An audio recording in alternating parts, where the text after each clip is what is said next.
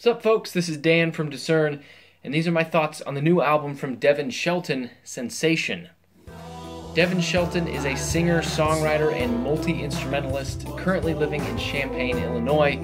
In terms of his musical history, he is most well known for his role in the post hardcore band Emery. He was a founding member from the beginning in 2001. Uh, he stayed with the group until 2011 when he parted ways not on bad terms, but to focus on other things in life, uh, his family being a major part. And actually, he didn't even leave the group for good as he joined them on tour about three years ago and he performed on their newest album, which came out last year. Over the years with Emery, Devin played just about every role possible uh, drums, guitar, bass, and vocals. And having had a sampling of each piece of this music puzzle, it's no wonder that apart from the band, he's been writing and recording his own music.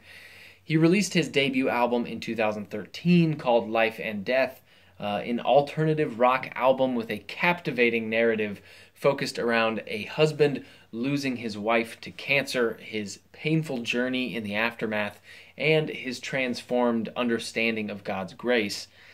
Just last week, Devin released his second full length album uh, titled Sensation he crowdfunded this album on Indiegogo, uh, where the backers actually got this album a month ago. But to the broader public, uh, this thing just released in partnership partnership actually with uh, his buddies from Emery uh, as part of Bad Christian. Musically, this album uh, has uh, some some notable differences in style from Devin's first record uh, and lyrically has some very obvious similarities to his first record. So first musically, this album has a notable amount of R&B and soul influences, a departure from the typical alternative rock and indie rock sounds of his debut album. The first song, Sensation, uh, is a clear signal to what you can expect in the songs to follow. Uh, syncopated drum rhythms mixed with luscious grooves from the bass and keys brittle slapback delay uh, from the rhythm guitar, softly sung crooning, and a, a generous offering of falsetto harmonies from Devin's vocals. And his vocal style is actually sort of the defining flavor of the whole album. Through the track listing, there's there's heavier tracks, more rock oriented, like Tide or Buried Alive. Uh, electronic pop tracks with ballads like The World We Know, uh, or the aptly titled dance track Dance Tonight, or more adventurous styles like the salsa inspired I Just Wanna, uh, complete with a nimble little trumpet solo. And through these varying styles, his vocals stay in uh, this soft, high tone, seemingly always on the edge of falsetto style. In Devin's debut album, uh, there were times where he let loose and, got a little edgier and grittier with his vocal delivery.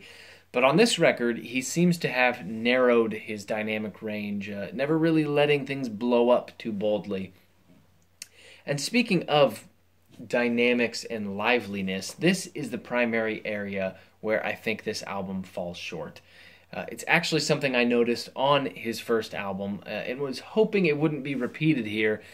It's quite hard for me to put my finger on it, but there there generally seems to be some special something missing in the mixes that would fill up these tracks a little bit more and push them over the edge, you know, really make them stand out. Uh, the music just sounds overly lifeless and, and, lacking in dynamic vibrance. The performances feel robotic and, and lacking in excitement or vitality. It just sounds like, again, something's missing. Uh, now, remember when I previously said that the first song, Sensation, is a clear signal to what you can expect in the songs to follow? Well, that's true musically as well, as the first thing you hear in this whole album is a very stale drum recording, fade in, panned hard to the left. Uh, yes, the drums start to fill in more as the song progresses, but it always feels incomplete. Uh, it, it always feels like it hasn't faded in completely, or the EQ filter on the sound hasn't pulled back quite enough. Uh, the toms in this song sound unresponsive and flat. The cymbals are, are very straightforward and regimented, almost like a rigid performance. and the rim clicks in the bridge are absolutely mousy. Uh, the sound is just lacking in, in punch and presence. And it's not just the drums that I catch this vibe from. The guitar tone that kicks off uh, the songs Tide and Buried Alive uh, is boring and lifeless, uh, very flavorless. Uh, the guitar intro to Howl at the Moon is plagued by obnoxious guitar picking tinniness, almost like they had a mic right up near the electric guitar. Thankfully, that guitar tone transforms uh, throughout the track and finishes the song with a, a nice electrically static, fuzzed out solo. The electric piano on the songs In Your Pocket and A Perfect Life are, are in that uncanny valley where you know that it's not a real piano, uh, but it's certainly playing the role of a real piano.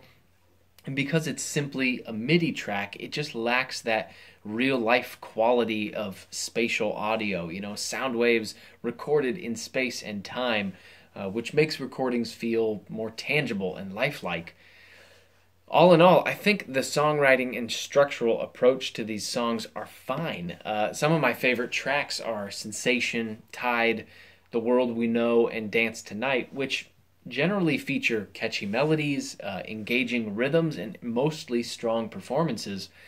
But they all sound like I'm just not seeing them in their best outfits. Uh, I feel like they could be bigger or bolder, more alive.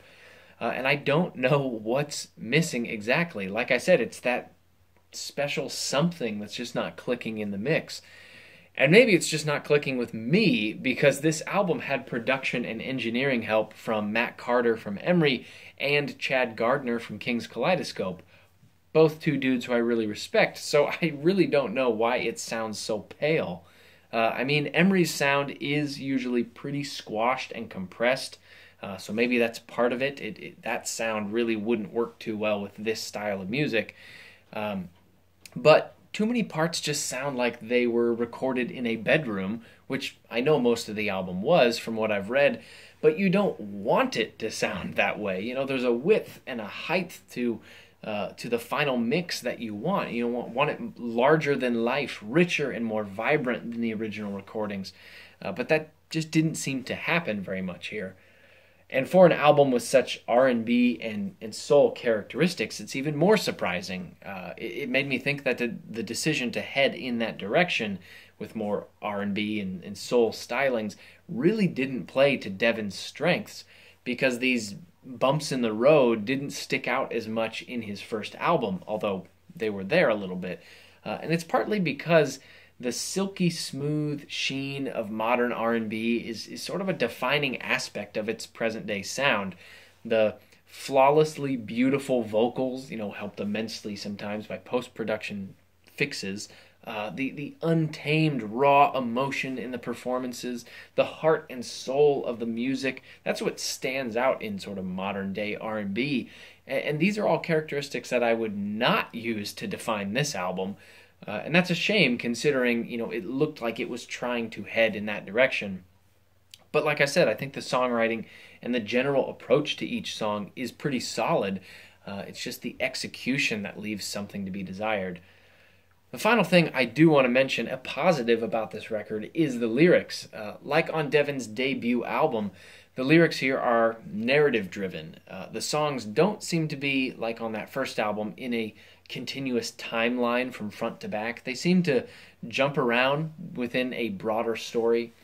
Uh, and honestly, they may not even be about one single narrative. Uh, it's tough to tell for sure.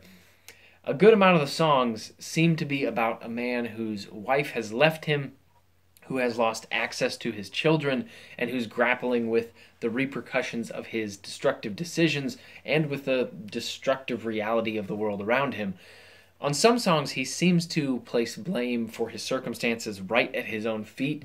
Uh, and at other times, he seems to be blaming the woman who left him, sort of saying, "You're the one who changed. You, you are the one who left me." Uh, but not all the songs are gloomy, uh, as he spends a handful of songs reflecting on the positives in this relationship, the the deep emotional bond formed between the two, the remembrance of the good old days, uh, and even dreams of sort of what could have been. But even if these songs aren't unified in uh, by a single narrative uh, with consistent characters throughout the throughout the uh, the album, the lyrics are still pretty thematically unified. Uh, this album deals with emotions and feelings in a relationship, both positive and negative, and in varied forms and stages of that relationship. The title of this album, Sensation, speaks to the human feeling and, and sensing that comes with romantic relationships. Uh, even as the r&b and soul vibe sort of reflects the physical senses are deeply involved in romance but so are the emotional senses the, the feelings of the heart uh, and the takeaway from this album seems to be both a warning, you know, that the relationships you hold deeply can be painfully destroyed by your own doing, by the doing of others, or by just God's sovereign will causing things to happen that you never would have expected. But this album also celebrates the enchanting connections and bonds that are formed in these relationships, uh, ties that affect you to the very core of your being and when these ties work in harmony, the relationship flourishes and, and both people seem to bloom out of it. But when these ties function discordantly, they tear at the very foundation of the relationship and usually end up tearing up the people in the process. Overall, I uh, I don't think this album is as good as his debut. I, I struggled to find an emotional tie to the music as I felt too jostled and, and bothered by this lackluster sound. But I did enjoy digging into the lyrics, uh, and I really appreciate Devin's lyrical thoughtfulness. He doesn't tend to rely on lyrical tropes and slogans and buzzwords, uh, which is refreshing and keeps you engaged in sort of actively listening. There are links down in the description box below this video to listen to this album for yourself. Uh, if you've listened to his debut album, uh, or if you're a fan of Emery, give this thing a listen for sure. Uh, I also put a link to Devin Shelton's Twitter in case you want to follow him over there, see what else he's up to. All right, folks, thank you so much for watching this album review. If you enjoyed this video, please subscribe to the channel. New album reviews just like this release every Friday. Subscribing is the best way to make sure you don't miss any new reviews. If you have a question or a comment for me uh, about this album, about my thoughts about this album, or about something else, you can comment below this video. You could tweet at me at Discern Reviews, or you could send me an email, discernreviews at gmail.com. Have you listened to this album from Devin Shelton? Uh, did you listen to his debut album back in 2013? Uh, what do you think about his venture into this sort of R&B and, and soul-inspired sound? Uh, do you think it worked? Do you think it didn't work? Uh, what do you think of the sound overall, the lyrics overall?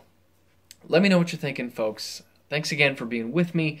I hope this helps. See you next week.